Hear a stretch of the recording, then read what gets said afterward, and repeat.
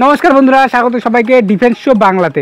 বন্ধুরা ইন্ডিয়ান এয়ারফোর্সকে নিয়ে বড় খবর বেরিয়ে এসেছে, যা অত্যন্ত গুরুত্বপূর্ণ এয়ারফোর্সের জন্য।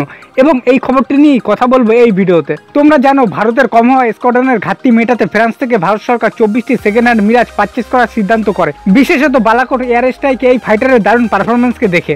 তোমরা এটাও জানো মিরাজ ফাইটার এয়ারফোর্সের জন্য কতটা ইম্পর্টেন্স রাখে। এটি গ্রাউন্ড এটাকে রাফেল আসার আগে ভারতের সেরা ফাইটার জেট ছিল, যা কার্গিল ওয়ার থেকে বালাকোট পর্যন্ত নিজের ক্ষমতা ছাপ রেখেছে।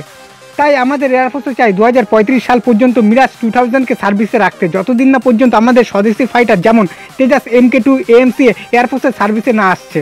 তাই মিরাজকে দু হাজার পঁয়ত্রিশ সাল পর্যন্ত চালানোর জন্য এটিকে আপগ্রেড করার চেষ্টা করা হয়, যার জন্য হাল মোট একান্নটি কিট ফ্রান্স থেকে রিসিভ করে, যার মাধ্যমে পঞ্চাশটি মিরাজকে নতুন ভার্সনে আপগ্রেড করা হয় এবং এতে প্রচুর অর্থ খরচ করা হয় বিগত কয়েক বছরে।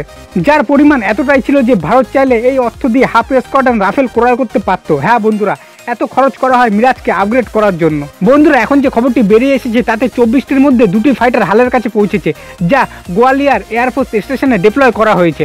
এবং বলা হচ্ছে, এতে কিছু কমতি আছে, তবে হালের দ্বারা এর মেনটেন্যান্স এবং কিছু স্পেয়ার পার্টস চেঞ্জেসের মাধ্যমে এই দুই ফাইটার সার্ভিস দেওয়ার জন্য প্রস্তুত হয়ে যাবে।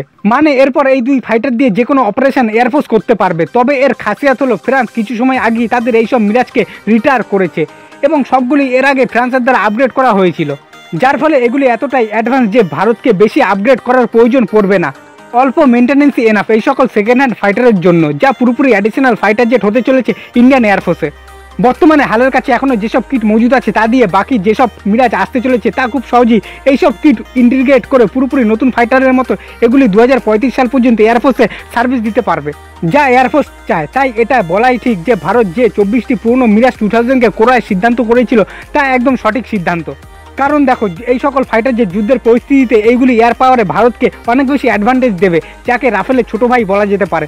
কারণ মিরাজ টু থাউজেন্ডের উপরই বেস করে ফ্রান্স রাফেলের মতো বিশ্বসেরা মাল্টিরোল ফাইটার জেট নির্মাণ করেছে। এখনও বাইশটি পূর্ণ মিরাজ আসা বাকি, যা খুব শীঘ্রই এক এক করে ভারতে ল্যান্ড করবে। তবে বন্ধুরা, এই সমস্ত জেট নিয়ে তোমাদের মতামত কি, তা কমেন্ট বক্সে লিখে জানাও।